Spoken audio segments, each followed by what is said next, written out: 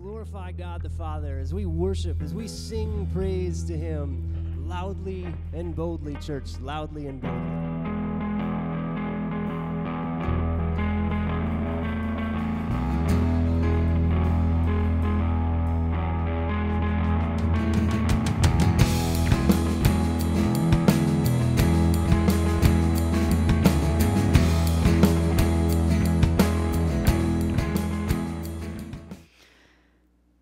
God, it is awesome to be in your presence, to behold you. And we recognize this morning that it is only by the power and the grace of your Holy Spirit that that is even possible. On our own, um, in our flesh, we are blind. And so, Lord, we praise you because you have made a way for us to see. And so I pray this morning, indeed, Holy Spirit, that you would be active among us, that you would open our eyes to see you more clearly than we ever have before. I pray that you would give us ears to hear, minds to understand, and hearts to obey. Lord, we thank you that you are the Lord of all creation. We thank you, God, that you hear our prayers. We thank you, God, that you move on our behalf, always for our good, always for your glory.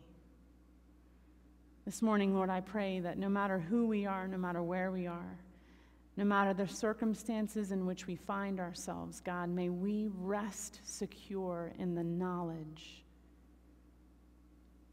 that you are faithful, that you are wise that you are sufficient for every need, that in our sorrow and in our joy, you are worthy of praise.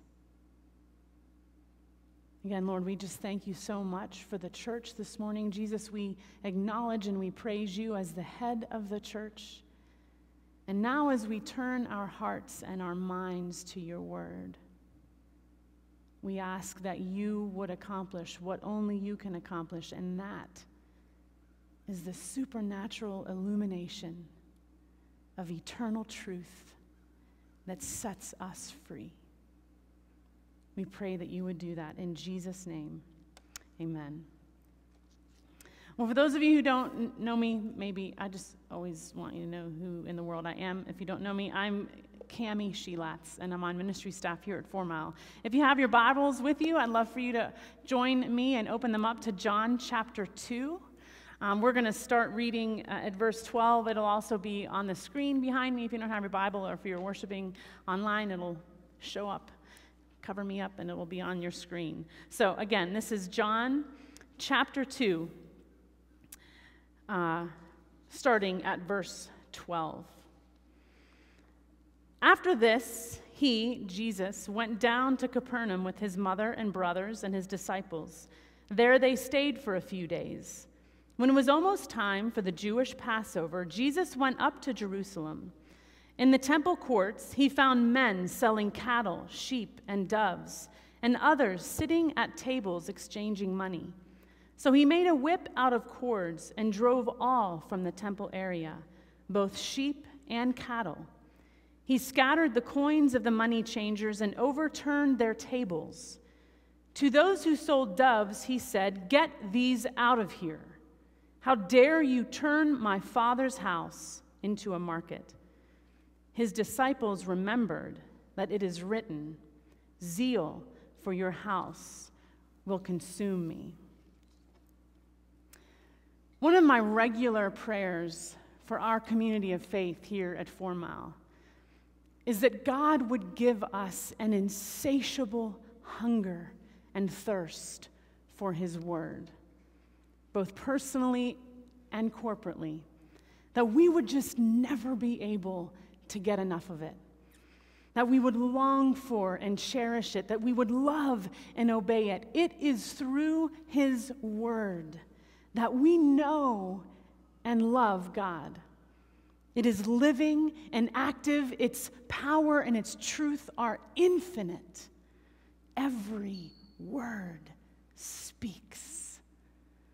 And there's layer upon layer of meaning and beauty, and every single layer, from beginning to end, points to the glory of God in Jesus Christ. It is absolutely magnificent.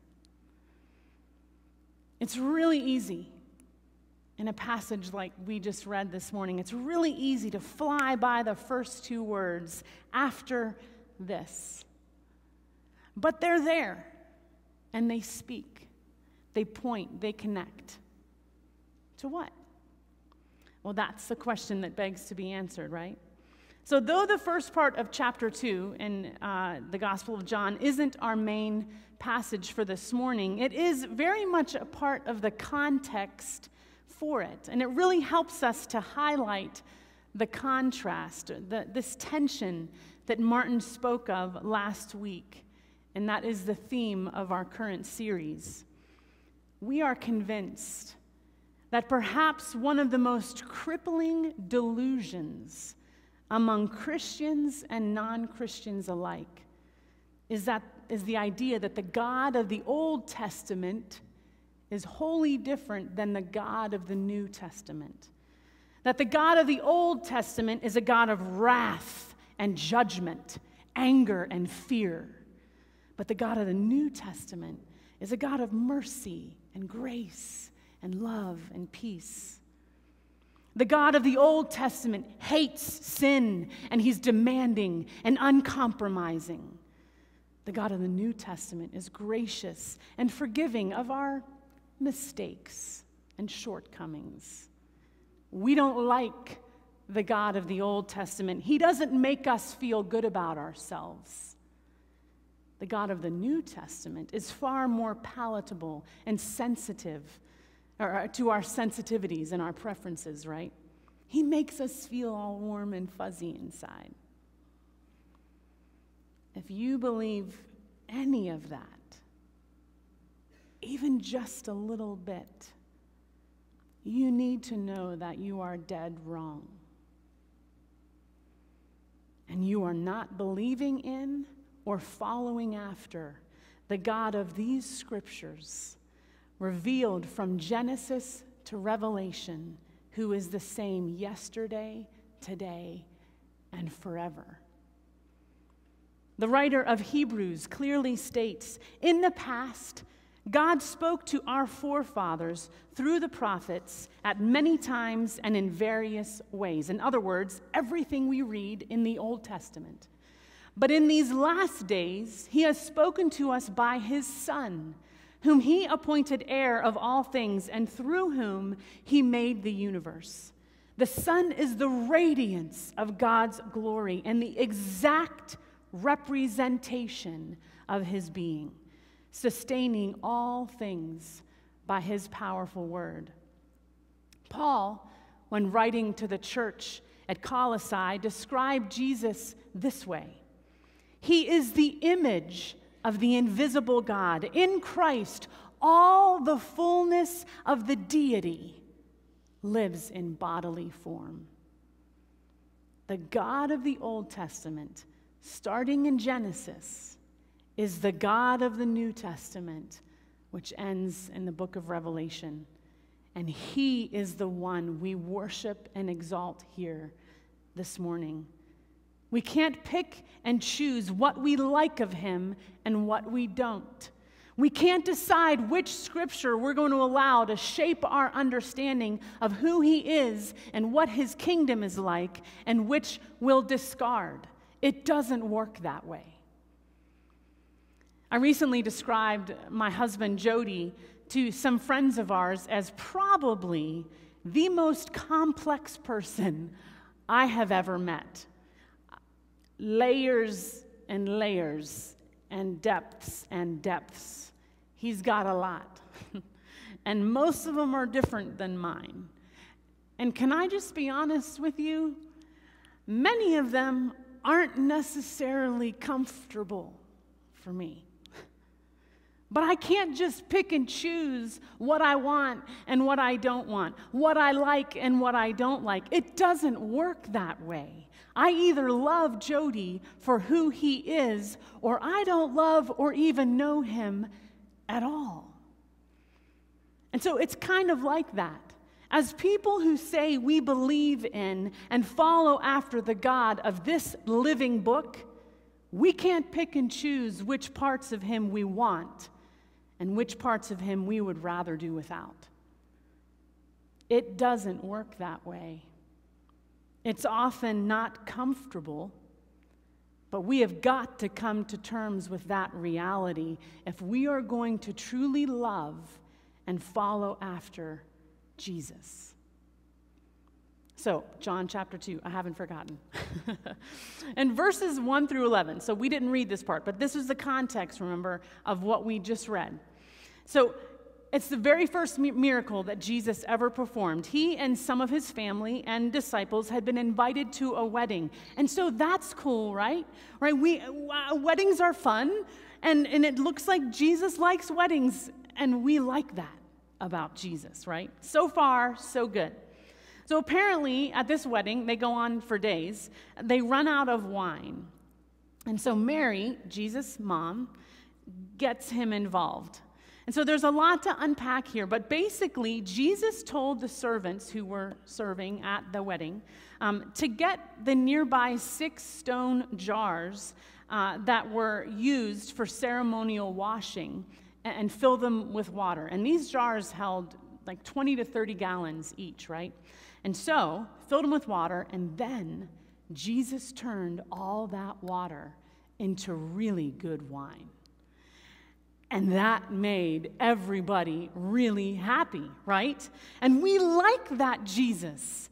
Never mind the fact that we all too easily skim over or don't even recognize the sobering fact that the wine pointed to and was symbolic of his shed blood on the cross, which would ultimately and permanently cleanse from sin those who would put their faith in him.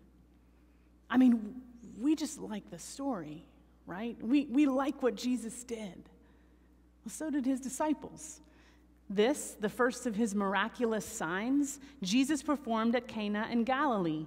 He thus revealed his glory, and his disciples put their faith in him. So far, this Jesus seems like someone I could really get behind, right? I could follow him. He makes people happy. I like that Jesus. But after this, and there are those two words that kind of help flesh out the context of the passage that we're looking at this morning. After this, just a few days later, this same Jesus was flipping over tables at the temple of all places. Um, what on earth? I mean, seriously, can you imagine uh, his disciples? Like, who? What is happening right now? What are you doing? I mean, this is, this is right near the beginning of Jesus' earthly ministry. And so, honestly, people don't know a whole lot about him yet. So, to understand what's happening here, we've got to go back to the Old Testament to see what we learn and know about God, of whom Jesus, remember, is the exact representation.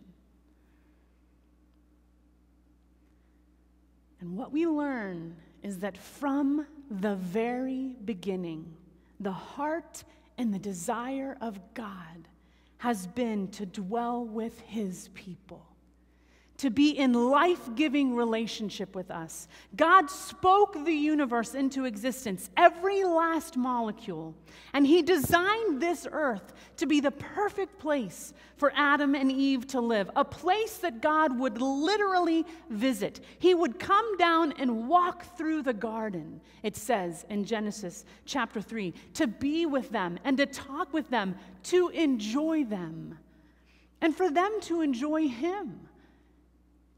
Do you think of God that way? As a person to enjoy? Because that is who He is. And that is what He longs for with us. God created us so that He could dwell with us. It seems to me like just like we can skim over words or verses or whole stories and themes in Scripture, we can also somehow almost become desensitized to this most amazing reality.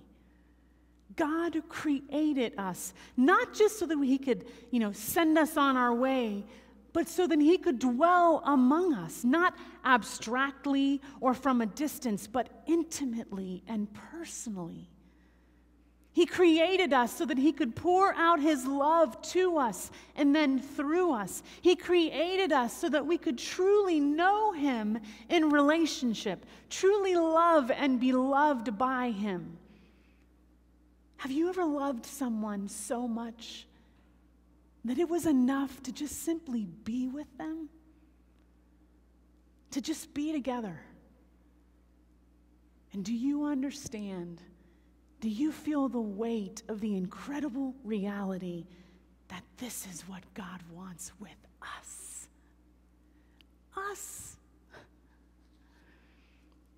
But in our sin, in our self absorption, in our rebellion and our pride, we turned away from Him. We rejected him. We thought we could do better. We thought we could find more elsewhere on our own terms. We are so incredibly foolish. We are deluded to think that apart from Him, we could ever find or have any kind of life. It is not possible. Apart from Him, there is only ever death, only ever sorrow. Is that not what we see all around us? Is that not what we experience? Life apart from Him is never what God intended for anyone. He wants to dwell with us, to share His life with us. He wants everyone to have full access to the life that He offers, and it is abundant life. It is life that is peace and joy and hope and truth and goodness. Do you not long for that? Do you not long for that for this world? Church, it is available. Though we turned away from God in our sin, He continued to draw near, to make a way, to pursue us, to invite us into that relationship. As a matter of fact, I mean, it's interesting that when Adam and Eve turned away in their sin, God came to the garden knowing exactly what they had done. He knew, but He came. He pursued, and He immediately took action to restore what had been broken. And that's what this entire book is about. God making it possible, in spite of our sin, for us to dwell with Him. Seriously, God's desire to dwell and be in relationship with us is the unifying thread throughout the entire redemptive story from beginning to end. He established for himself a people in the book of Genesis a people to whom and through whom he would reveal himself to the world. A people that he would bless in order that they might become a blessing to all nations in his name. After finding themselves enslaved in Egypt for 400 years, God miraculously delivered his people, the Israelites. We read about that in the book of Exodus. And then God really began to unpack and, and explain to them, if you will, what it meant to be his people, what it looked like for him to dwell with them and we with him. In Exodus 25, God directed Moses to begin gathering from the people offerings of, of precious metals and, and wonderfully colored yarn and fine linen and, and goat's hair and, and animal skins and uh, wood and olive oil and precious gems, all this amazing stuff, right? Why? Because God, uh, I'm sorry, God was directing Moses to oversee the building of the tabernacle. Have them make a sanctuary for me, God said, and I will dwell among them. Inside this tabernacle, in the Holy of Holies, behind the veil, the Ark of the Covenant rested. And that is where the glory of God would descend. The tabernacle was positioned right in the middle of the Israelites' encampment so that no matter where they were, everyone could see it. And when they moved from place to place, they would literally pack it up and take it with them. It was for the people of God everywhere they went a literal, central, and very tangible reminder that their God was dwelling with them and it set them apart from every other nation and people group in the world. Eventually, after they had come to the land that God promised them, King David once again gathered all the necessary materials so that his son Solomon, once he became king, could oversee the building of a permanent dwelling place for God's presence among them. And that was the temple in Jerusalem. So, listen to part of Solomon's prayer of dedication when the temple was finally completed. This is from 1 Kings.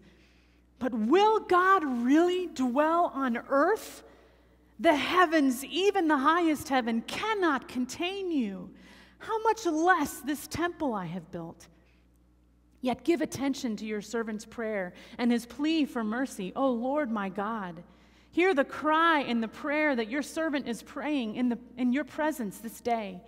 May your eyes be open toward this temple night and day, this place of which you said, My name shall be there, so that you will hear the prayer your servant prays toward this place.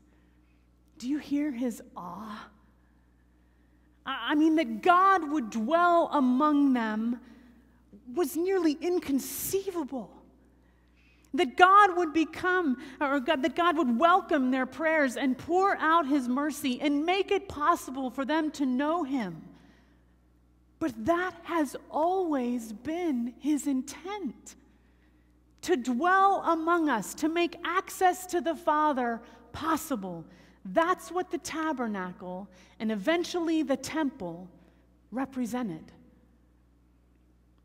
However, it is critically important to understand and remember that God's desire and his willingness to be in relationship with us after our sin didn't come without cost. Just like God explained in detail to Moses and then David how to build the tabernacle and then the temple, he also instituted an extensive sacrificial system because blood had to be shed for sin to be forgiven. I actually just finished uh, reading through again the books of Exodus and Leviticus and Numbers, and seriously, I am overwhelmed every time I read those books at just how much blood was spilled. I, it was a rather gruesome near daily reality for the Jew, a constant reminder that the cost of their sin was death and separation from God, and that the only way to draw near was through the shed blood of a substitutionary sacrifice by the priest at the temple, day after day after month after month, after year after year, all the while longing for their Messiah to come. He did. In the beginning, The Word was God, and the Word was with God. He was with God in the beginning. And John goes on to say in chapter 1 the Word became flesh and made his dwelling among us. We have seen his glory, the glory of the one and only who came from the Father, full of grace and truth. God came to us in Jesus. And that verse that I just read could literally be translated that Jesus tabernacled among us. That word gave John's first readers an immediate context in which to understand what was really happening right? God became a man and lived right there among them as one of them. Why? Because it's always been the Father's intent to make a way for us to dwell with Him. And through Jesus, He was making a way for that to be a permanent reality for all who would receive him, Jew and Gentile alike. Do you see that over and over and over? God has only ever continually had wide open arms for all those who would surrender to him in faith. Make no mistake, it is always on his terms, but the invitation has always been available to us. Jesus came to be the final sacrifice. Once and for all, sin would be atoned for by his death on the cross. He was to be the perfect and final Passover lamb, the one who would take the full wrath of God, crucified for the forgiveness of our sin. That's what was on his mind when he turned water to wine at the wedding Cana. And that's what was on his mind when he walked into the temple just a few days later. Jesus, in whom all the fullness of the deity dwelled in bodily form, walked into the temple, and he could not contain himself. What is it exactly that made him so angry? By the way, it's interesting that we could probably spend a ton of time just looking at and considering the fact that never once did Jesus sin in these moments. This was pure, holy, righteous indignation. And it was very controlled.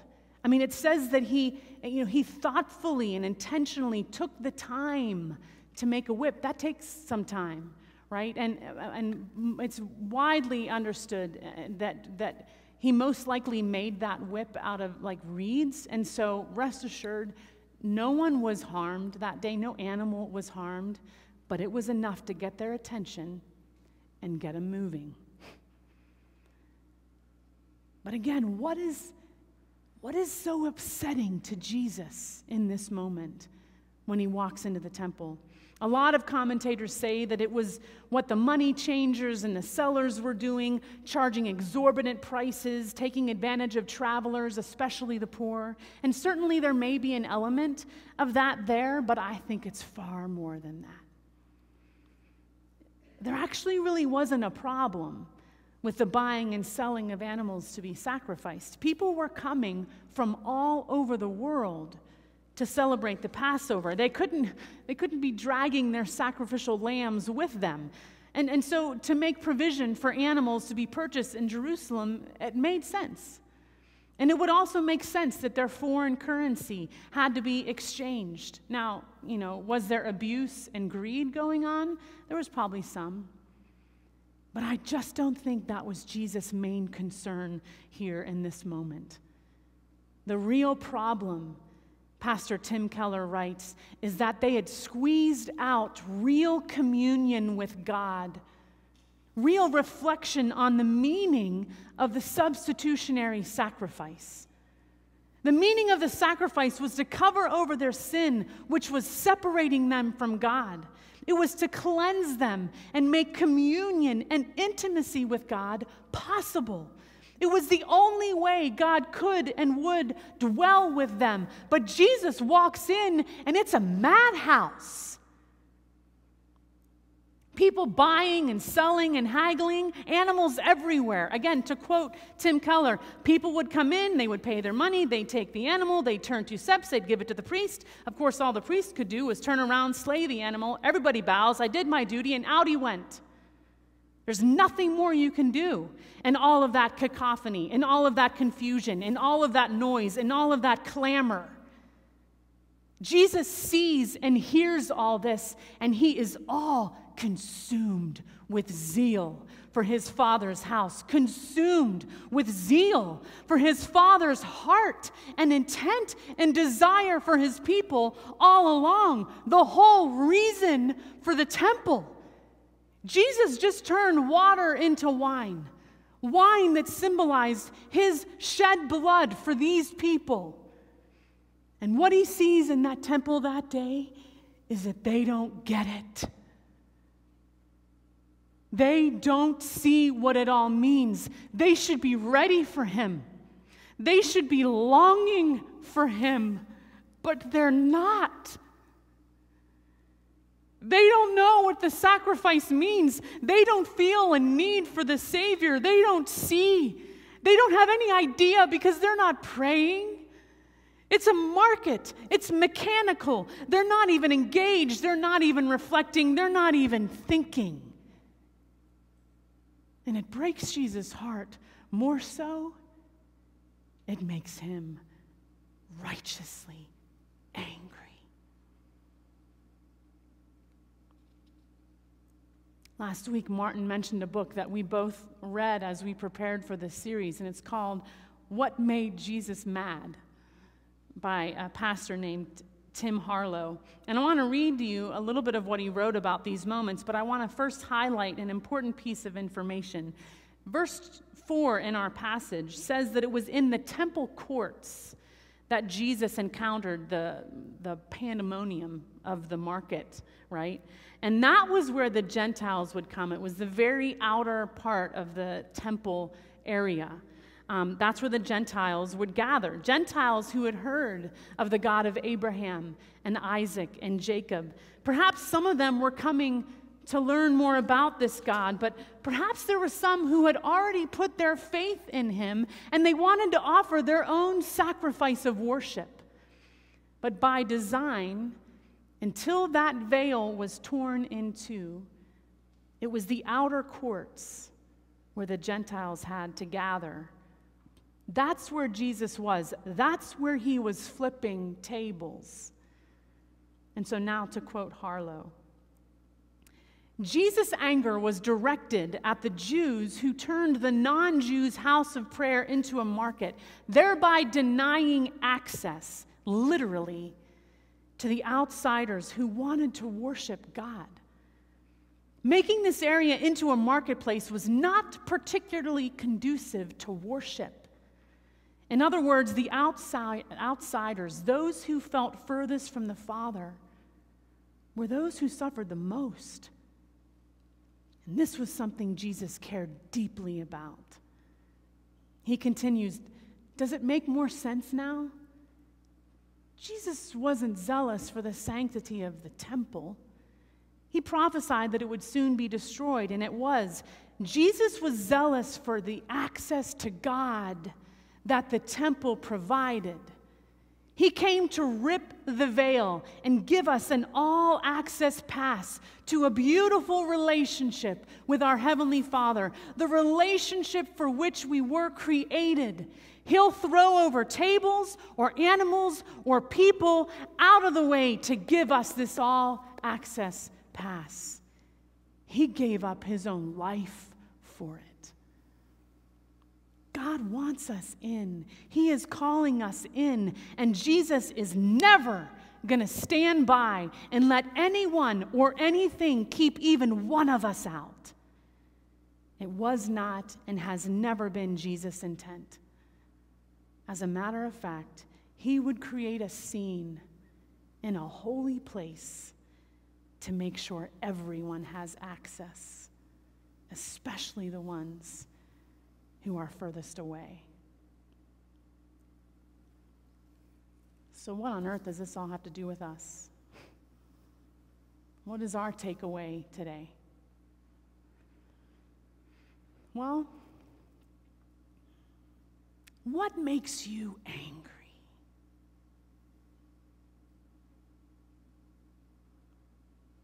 Are they the things that make Jesus angry?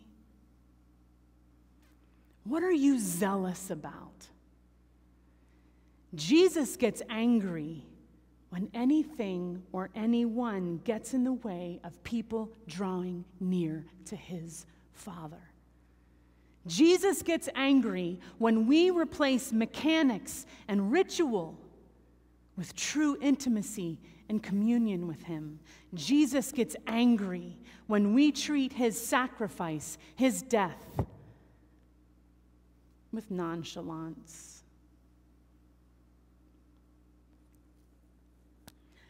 I have people who pray for me as I prepare to preach and as I come up on Sunday morning. I couldn't and wouldn't do this without the spirit filled prayer for God to do what only He can do. In and through me and us. And uh, my parents are, are two of the people who pray for me. And yesterday I texted my mom, because my dad has never and will never have a cell phone. uh, so I texted my mom to ask her to pray specifically that, that I would be able to land the plane, as it were.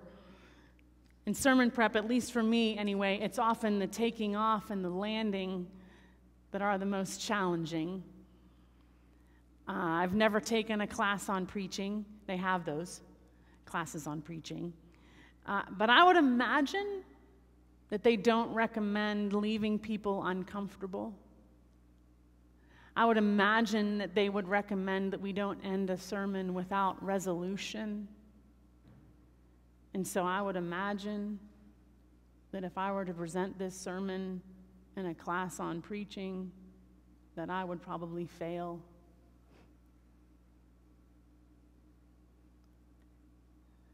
Jesus gets very angry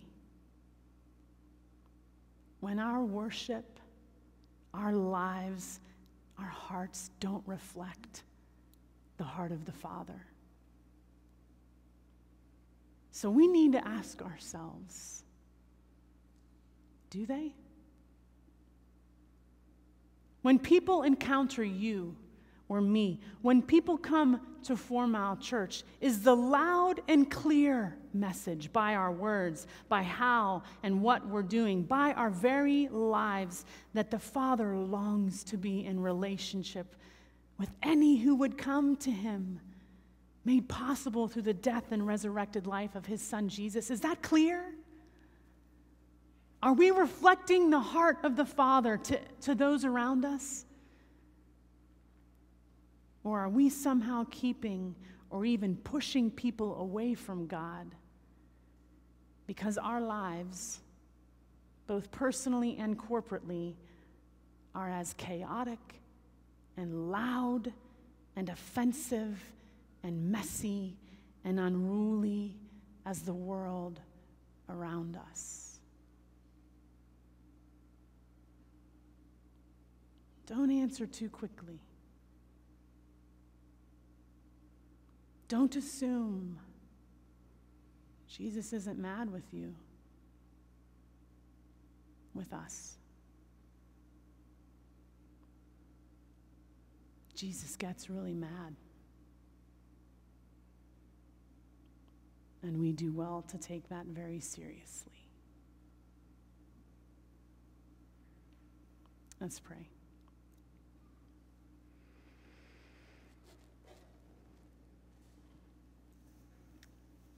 Have mercy on us, God.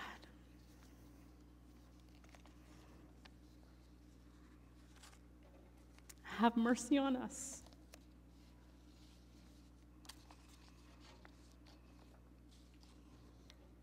We like when